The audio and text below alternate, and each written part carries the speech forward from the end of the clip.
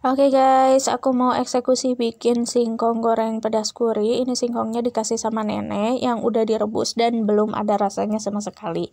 Oke, okay, tadinya pengen dibikin singkong keju karena kejunya nggak ada. Yaudah, kita goreng simpel aja.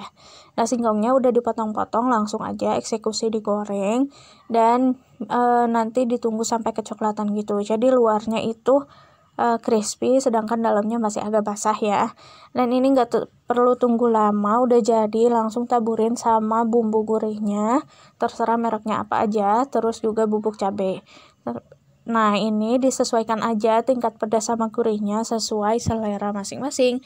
Tada, udah jadi simple banget kan? Boleh dicoba deh. Bye-bye.